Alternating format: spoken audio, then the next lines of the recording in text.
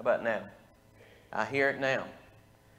Well, good evening and welcome to our midweek Bible study and uh, time now that we want to kick off with you uh, just to say uh, hello. Uh, we continue on, right? And uh, just continue to worship and honor the Lord in the circumstances that we're facing and in.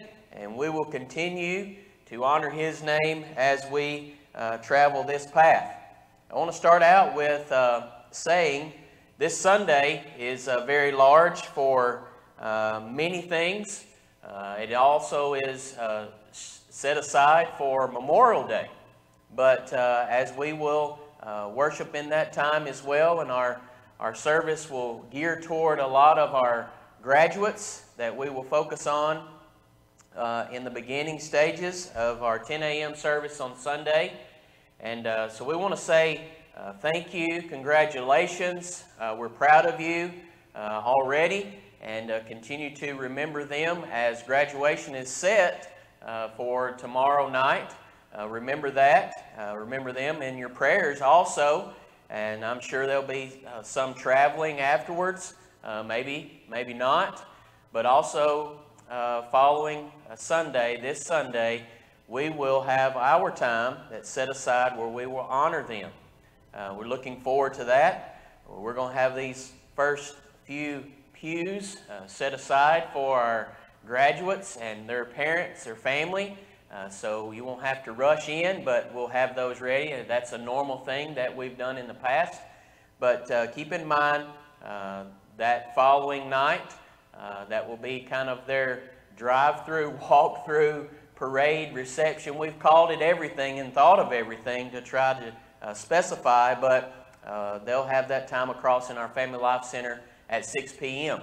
And uh, so remember that and continue to remember them in your prayers. So following that, I'd like to mention uh, a list of those that we continue to lift to the Lord in prayer. And uh, let's start with Daryl Montgomery's mom. Continue to remember her. Uh, Danny and Linda Garrison.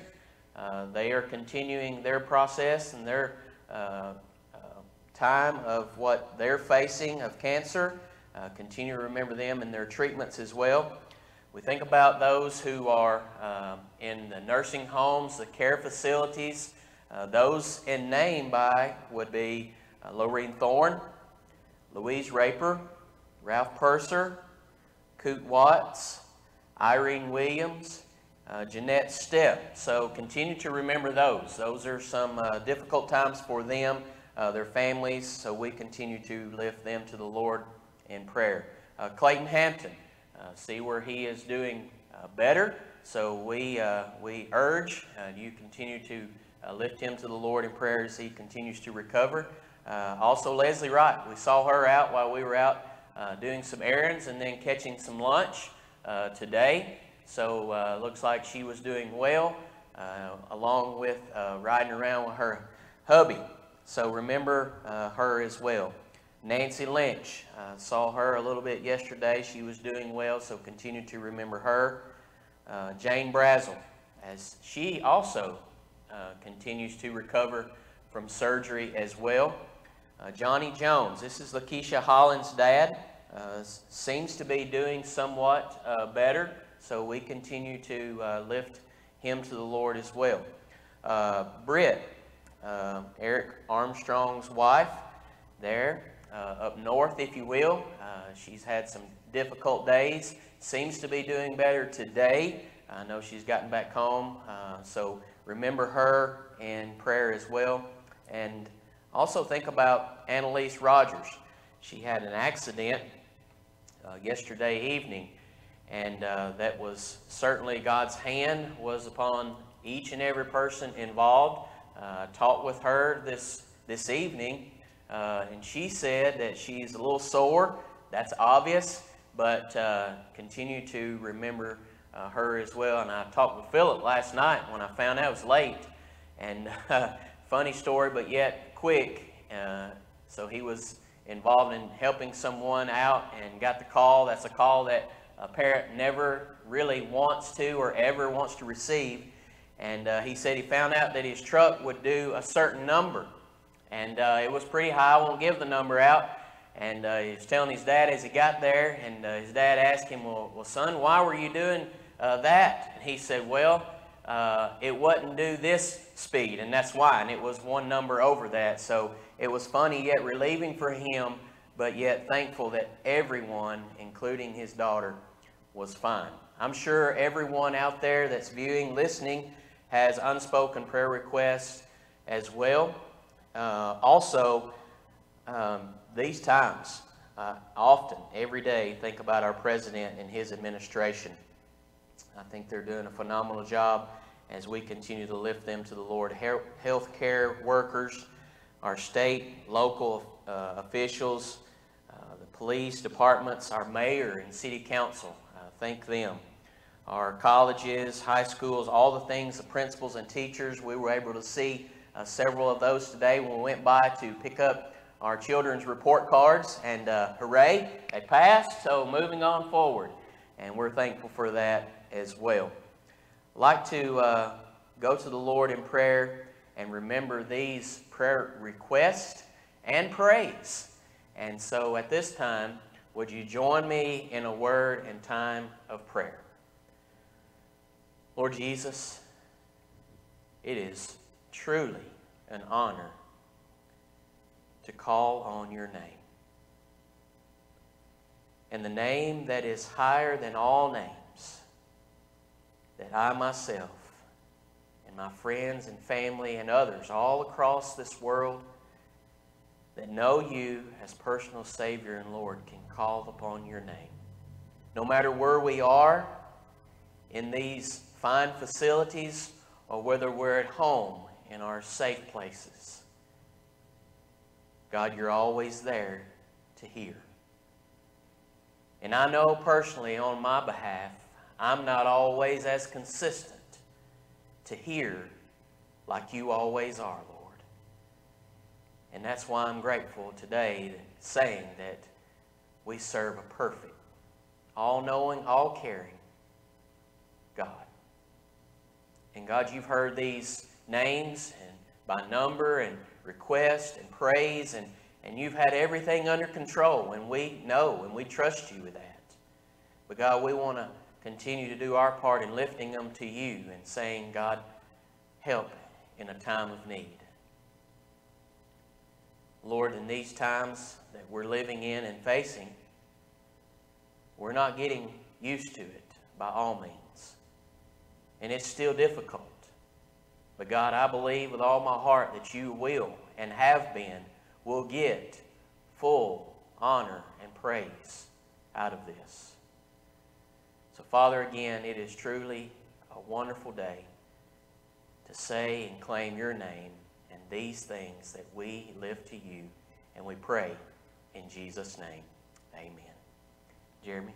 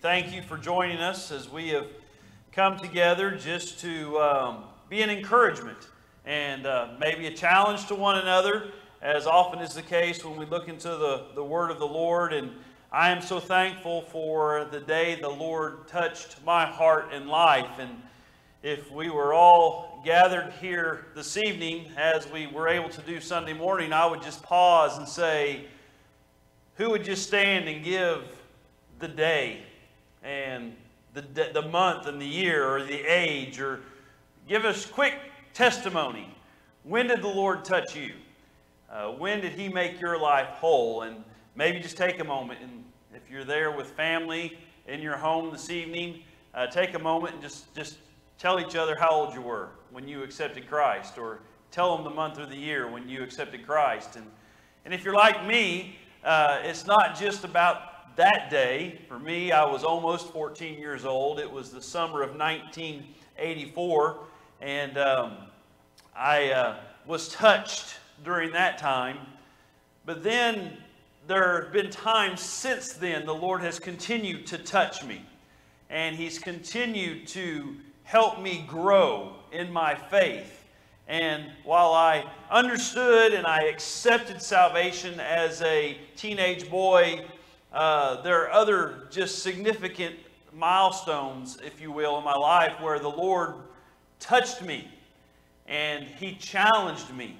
And I grew closer to Him and I grew uh, further in that decision to follow Him. There's been times when I felt like I was walking right beside Him, and there's times when I felt like I was alone, and those times alone were often my own making, where I drifted away and I wasn't in as tight of a relationship, but then He touched me and He allowed me to come back closer into His presence yet again. And, and um, I hope you are experiencing the touch of the Lord in your life. Uh, with that in mind, how would you rate your passion for Christ? If you were to put it on a scale of 1 to 10 or 1 to 100, where would you fall in your estimation of yourself as you look in your life and you look at your walk with Him? How, at what level is your passion? And how does that show? How is that passion for Him reflected? Uh, we obviously see His passion for us as He gave His all. In Romans, Paul tells us He demonstrated His passion his love for us in that while we were yet sinners, he died for us. And so obviously, he has a very high passion uh, for you and me. And he demonstrated that by giving of his own life on our behalf. Where is that passion for us, uh, our passion for toward him? How would we rate that?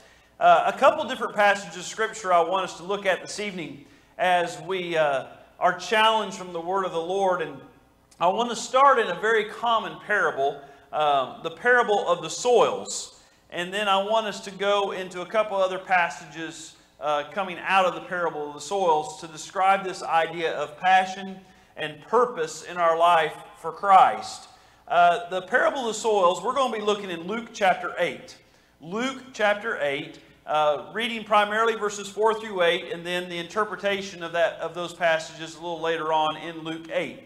But it is recorded in Matthew 13 and Mark 4 as well. And so you might could read the context of all three of those accounts given in the, what's called the Synoptic Gospels and um, kind of get a bigger picture of what's going on. But I want us just to go right into the meat of the parable, if you will, as Christ is sharing this parable uh, with those who are following him, who are, who are intrigued by his ministry as he's been touching people's lives. And then later, as he gives the interpretation to those who are closest to him, uh, his disciples, or we would call them his apostles. And so he says, when in verse 4, Luke chapter 8, verse 4, it says, When much people were gathered together. These are all the people who are seeking. These are some people who are seeking truth. These are some people who are seeking healing. These are some people who are seeking to find fault in Christ. So it was just a multitude of people with all kind of motives, all kinds of reasons for being there, and they were come to him out of every city. So he was drawing people because news of what he was doing. His popularity, popularity had grown, and they wanted to hear what this man Jesus had to say. And so they came out of every city where he was at, and it says he spake by a parable. Verse 5 A sower went out to sow his seed. And as he sowed, some fell by the wayside, and it was trodden down, and the fowls of the air devoured it. And some fell upon a rock, and as soon as it was sprung up, it withered away, because it lacked moisture. And some fell among thorns, and the thorns sprang up with it and choked it. And other fell on good ground, and sprang up and bare fruit an hundredfold. And when he had said these things, he cried, He that has ears to hear, let him hear. And I read that last part of verse 8, and I'm automatically reminded of the thing that the things that Christ said to the churches in Revelation chapters 2 and 3 through the Apostle John. When he addressed the seven churches, he who has ears to hear, let him hear. And so there's a truth that he's trying to get across that not everyone will understand when they hear the parable, but those who uh, are his disciples, they should have an understanding. We're blessed because in this particular parable, Christ does give us the interpretation. But notice that there's four soils that are mentioned in the parable. Four soils. The first soil is hardened soil. And it's the hardened soil of the path where the, the people would walk through the garden area or walk through the fields. And uh, it, it's, a, it's, it's, a, it's a designed roadway, so to speak. It's not really meant for seeds or crops to grow in. And so the seed cannot penetrate the soil because it's so compacted, it's so hard, and it's quickly just snatched away by the birds, as, as it's described in the parable. The second soil is described in verse 6, and it's the rocky soil. And the rocky soil uh, is a shallow layer of earth, or a shallow layer of dirt that's barely covering over um, the, the rocks that are below. I personally think where I live, my property is creating rocks. I think it makes rocks. It seems like every time I go to dig and I think I've got all the rocks out, they, there again, there's another rock right there. Uh, this was, was rocky soil, and the, the seed falls on this soil and it germinates and it quickly grow, grows, possibly because that rock underneath actually helps absorb some of the sun's heat, radiate that, radiates that heat back, so it, it quickly grows. But because of the rocks, the plant does not have the depth of roots, the structure it needs in order to sustain its life. Uh, it lacks depth, it lacks the ability to get enough moisture and nutrients, especially as the top layer of soil becomes dry. And so, as quickly as it germinates, it terminates, and that plant dies. The third soil is thorny soil, and it's a soil that's it's good ground as far as the, the quality of the dirt, but the problem is the only seed that's there is not the seed that's been planted. There's weeds that are also falling into this soil and they germinate at the same time. And you not only have the crop that's desired come up, but you also have all the weeds that come up with it. And eventually the weeds become stronger than the initial crop and it crowds that desired plant out and it takes the life out away from that plant. The fourth soil is the best soil. It's the soil that uh, all farmers desire, and that's the fruitful soil. Uh, we, that's the, the, the, the, soil we hope to see as we plant our gardens this spring. And uh, in the summer, we hope to see that fruit being brought forth. And it's the soil that uh, allows that crop to grow, it allows that plant to be healthy, it allows that plant to produce, and at the end of all the time, we have a crop that is given. And so that's the, the explanation of the soils from strictly from the uh, the gardening point of view, uh, the bot- botanical explanations, I guess you will. But Christ is not teaching these people just to give them a lesson in gardening. Uh, that's not his intent. And so later, the disciples in verse 9 asked him, What does this parable mean? What are you trying to teach us with this parable of the four soils? And so Christ takes time to help them understand a little better what he's trying to teach. And we see that in verses 11 through 15. It says, The parable is this the seed that is planted is the Word of God. And if you will, that is the gospel, the truth of what Christ has done for us the truth of what God has orchestrated and what God has created, not only in His creation, but in His plan of salvation. And so the seed is the truth of the Word of God, and that seed is planted. In verse 12, it says, Those that are by the wayside, or those that are in the hardened soil, they are the ones that hear the truth but the devil comes and takes the word out of their hearts, lest they should be saved. And basically, those he explains that are of the hardened soil, um, uh, the, the, the ones that are on that beaten down path that's in the parable, those are the ones whose hearts have never really been open to the gospel. Who were, they do not respond positively toward Jesus Christ at all. Um, in Jesus' day, this would encompass the scribes and the Pharisees. Even though they knew so much about the Old Testament and God had given them so much of the Word and so much truth, when the living Word of God was standing right before them, they rejected Him. And so they would represent those who were on the hardened soil. They did not receive the gospel. The gospel made no impression upon them whatsoever. Satan snatches that seed before it can take root in their hearts. There's no response, no new birth, and no fruit. There are still people today who have hardened soil in their heart. They're non responsive to the gospel and to the, the truth of God's word. The second uh, uh, soil is described, and we go on, we see in verse 13, it says, They that were on the rock, or those that have the rocky soil or the shallow soil, are they, when they hear, they receive the word with joy. They're excited to hear the truth. And these have no root, which for a while believe, and in time of temptation they fall away. And so here you see a group of people who they hear the gospel, they hear the truth of God's word, and they're excited. And they, they willingly receive that truth. And for a while, they're maybe on fire. Maybe they're excited, but they never really develop any depth of understanding beyond just that salvation experience, maybe, uh, that promise of heaven. Um, it may be that it's they don't understand the entirety of what the gospel means when they accept it. They may have their own view still that they haven't let go of that is man-made instead of God's truth.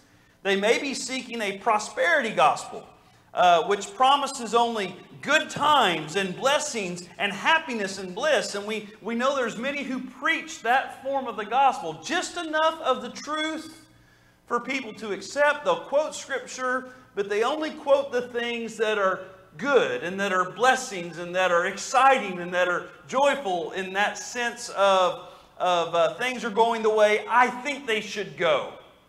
And so it's a, a prosperity gospel. And so when temptation comes, when difficulty comes their way, when their faith is tried, they really haven't developed the depth that they need in order to sustain and in order to stand, and they fall away under temptation.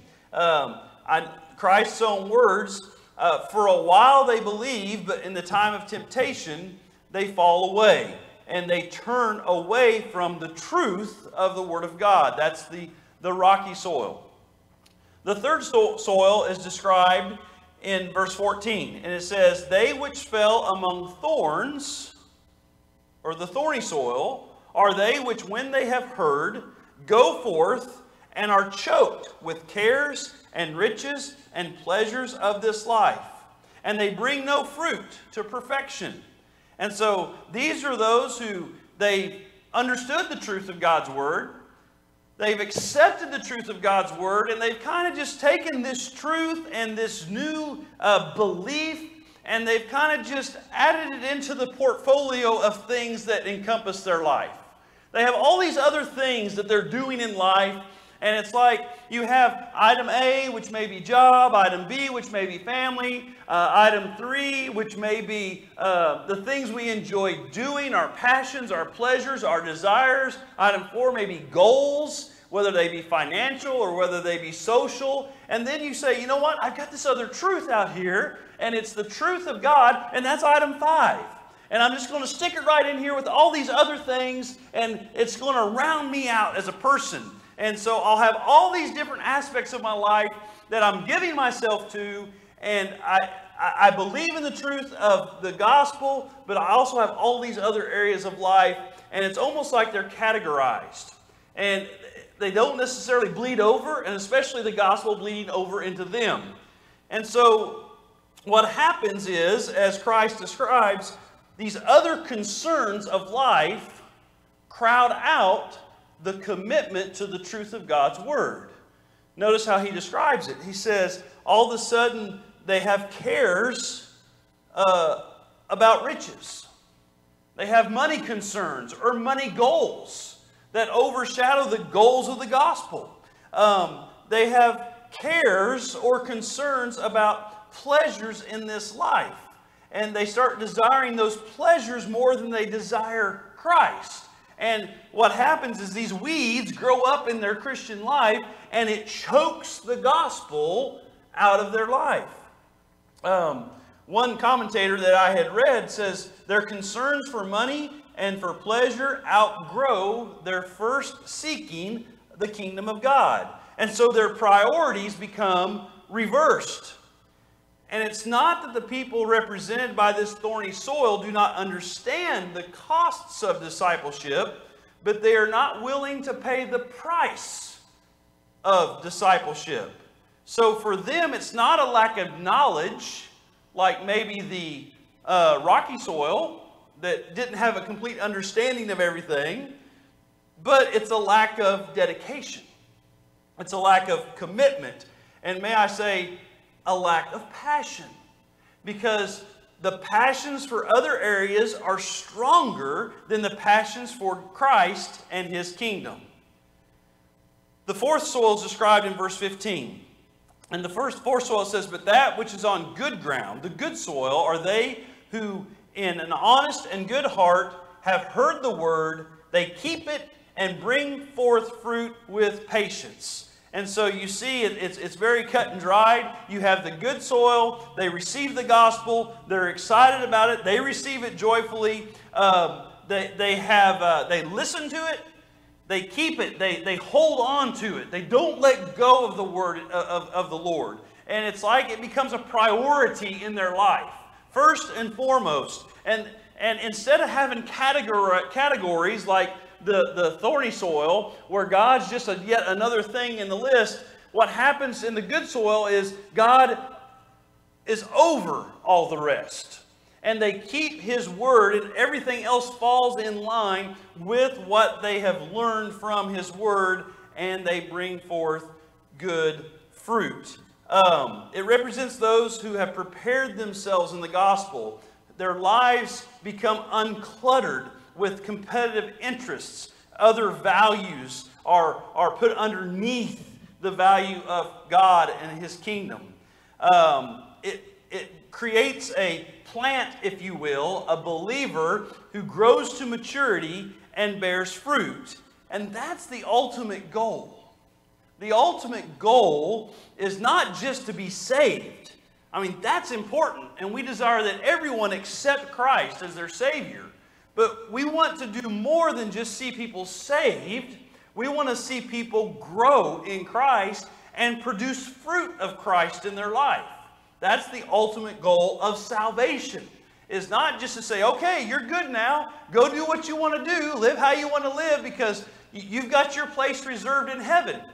You know, you've got your, you went on Ticketmaster and you, you put your money down, you paid for your spot, and so it'll be there waiting for you whenever you show up. That's not the goal. The goal is to grow and to produce fruit in your life for Christ. That's the purpose that we have been given as we live for the Lord. And so when we start thinking about purpose and passion in this context, Purpose is the goal. Purpose is the goal for which we're saved. And the purpose is to persevere, to grow, to reach maturity, to produce fruit for Christ. That's the purpose for which we're saved. We're saved not only to escape divine wrath, but to, and, and not only to live forever in heaven, and those are obviously two great things and two wonderful reasons to be saved because we do escape God's divine wrath and we are given the promise of eternity in heaven, but we're saved with the purpose of attaining a maturity and a fullness in Christ. Read Ephesians 4:13. We're also saved to bear fruit. Read John chapter 15 and specifically verse 5. To fall short of that maturity and to fall short of bearing fruit is to fail to attain the purpose for which we're called and set apart in salvation. So we have this purpose, and the purpose sets our goals, and our goals are lined out there before us, and we tend to see purpose as just fulfilling obligations or fulfilling duty. But what drives us? What drives us to accomplish the purpose is what I want to close out our thoughts this evening. And we've already used the term, and I've already asked you about it early on. But what drives us to accomplish the purpose is our passion. It's our passion. Louis Giglio defined passion as the fire that fuels our journey. So, more than just a checklist of things that we want to, want to do, it's, it's a drive, it's a fire with inside. And passion is born out of what we value. And if we think about this, everyone values something. Just like everyone, I don't care who they are, whether they believe in God or say they don't believe in God, everyone worships something. Everyone has that, that something that they're passionate about and that they worship.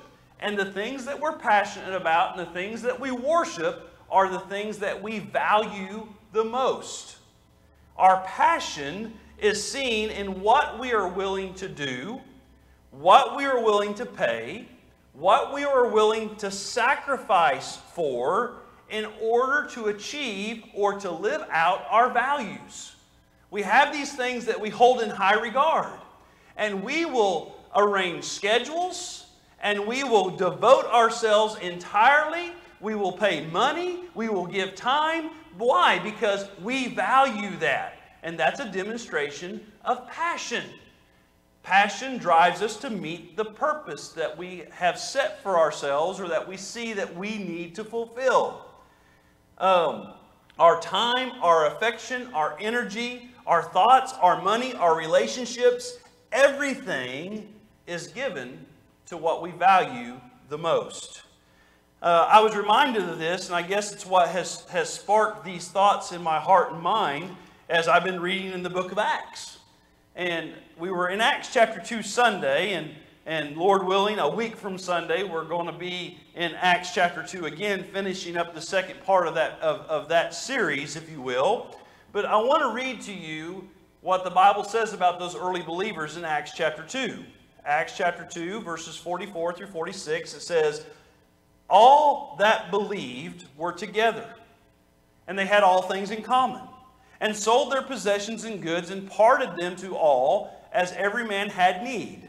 And they, continuing daily with one accord in the temple and breaking bread from house to house, did eat their meat with singleness, uh, with gladness and singleness of heart. And I'm going to go ahead, verse 47 praising God and having favor with all people. And so we see their passion. And I'm not saying that we need to go and sell everything we had and give it to the church to be redistributed to all the believers, but you see their passion for Christ reflected in how they live their life and what they chose to do. This is not necessarily a standard because later Ananias and Sapphira try to pass off in, in Acts chapter 5 as if they sold all their possession and gave everything and it wasn't that they it wasn't the fact that they didn't give everything that got them in trouble. It was the fact that they lied about it and they were deceiving the church, trying to lie to God, saying they were giving everything, when in fact they were holding some of it back. And Peter even said, Was it not yours to do with as you pleased? So why lie to God? And so it's a reflection of passion and they were passionate about this walk with Christ. Turn to Philippians chapter 3. Philippians chapter 3, um, verse 3, we see Paul's passion. And he gives a history of uh, the kind of man he was before he came to Christ. And believe me, Paul was passionate before he came to Christ. His conversion didn't create the passion, it just redirected the passion. And so he said that in verse 4, he goes, If, if any man thinks that he uh, could trust in the flesh, I have more reason to trust in the flesh. And then he gives this history circumcised the eighth day of the stock of Israel, of the tribe of Benjamin, a Hebrew of the Hebrews, as touching the law, a Pharisee. Concerning zeal, that's passion. Concerning zeal, I was a persecutor of the church. He persecuted the Christians touching the righteousness which is in the law, blameless. And so here was a man whose religious fervor, his religious passion, his desire to follow after God as he understood God, which his view of God was warped at that time, he was passionate about it. And he said there was no other person who had more passion than I did. And if I could, if anyone could depend upon their own self-righteous accomplishments to get to heaven, to get into the presence of God, I would have been that guy. It was just purely based on the passion for trying to maintain the purity of what God had established. That's what Paul was desiring to do because he saw Christianity as a plague. He didn't understand. But notice in verse 7, he said, But what things were gained to me, those I counted loss for Christ. Once he came to realize that all of his righteousness and all of these things that he was trying to do for God in and of himself as a Pharisee apart from Christ, he realized that they were empty, that they were, they were useless, that they would not accomplish the task of making him right before God, and he realized he needed to come to Christ and he needed to have passion toward Christ instead of passion towards a false religion. Then he said, All those things that were my accomplishments, in verse 8, I counted them as dung, uh, manure. They were worthless, they were empty, empty and I put aside all my own self righteousness and all my own personal accomplishments, and I put them aside that I may win Christ.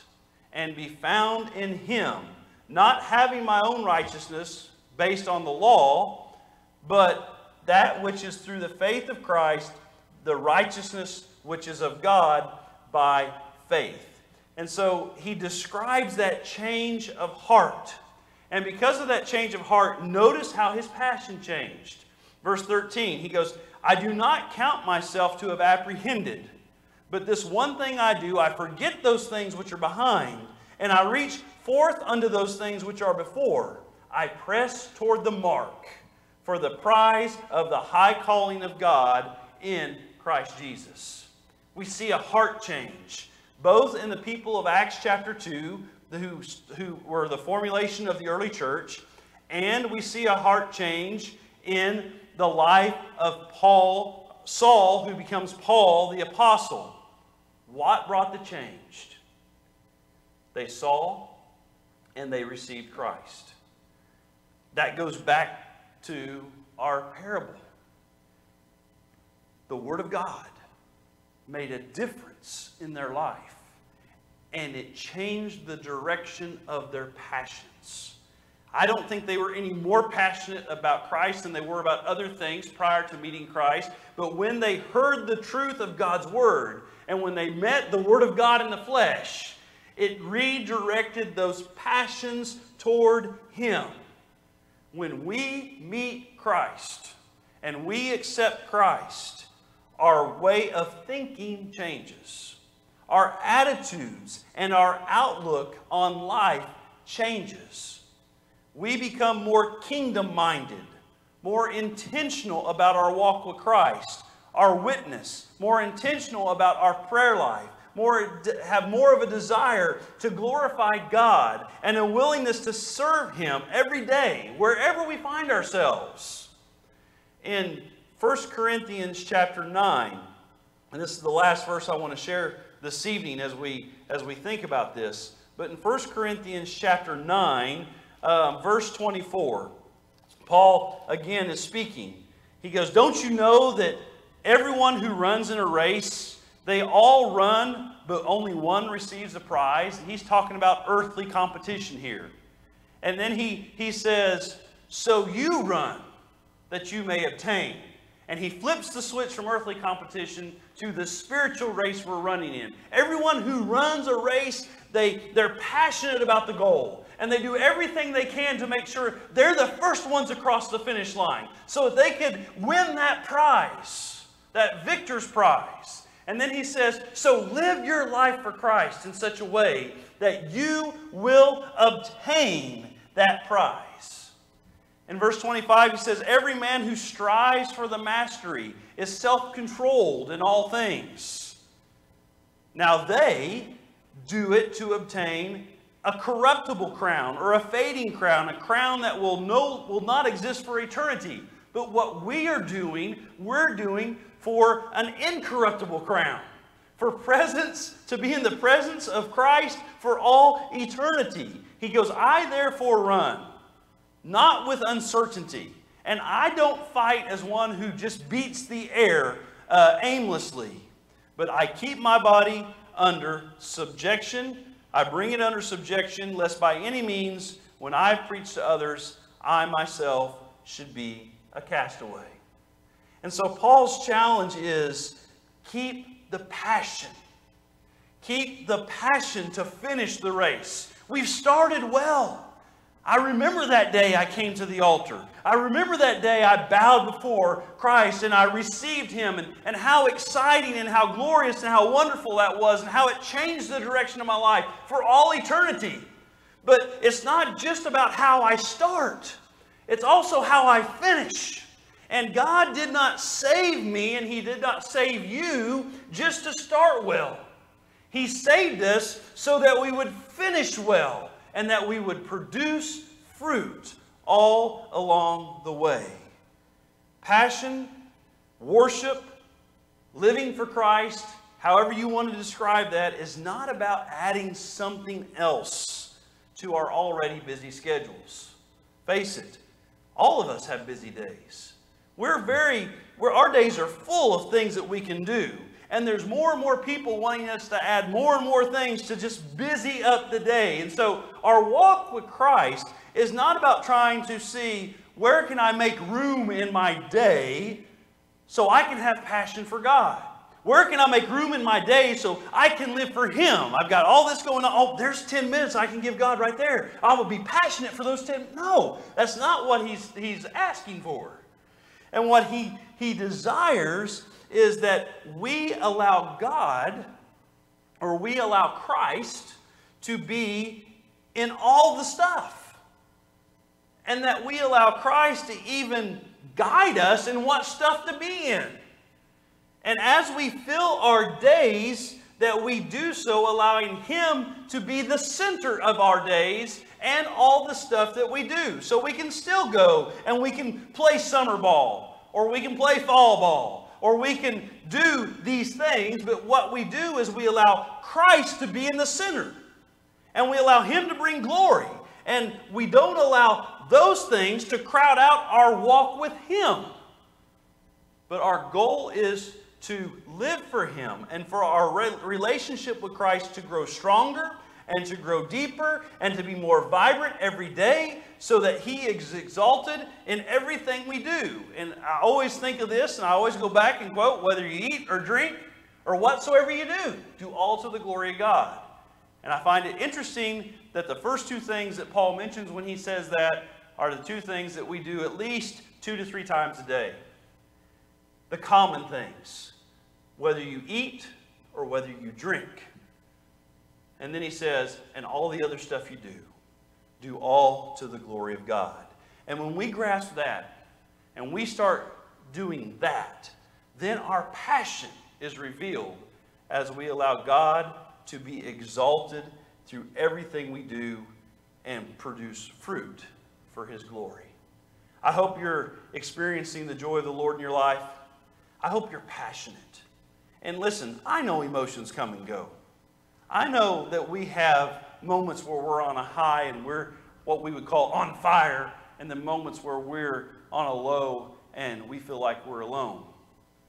But let's continue to do everything we do, in season and out of season, for the glory of God, exalting Him, that our passion for Him would not only carry us over the mountaintop, but also will carry us through the valley when the temptations come.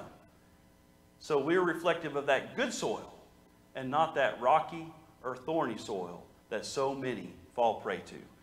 Let's bow together as we pray. Father, we love you and we thank you for your word.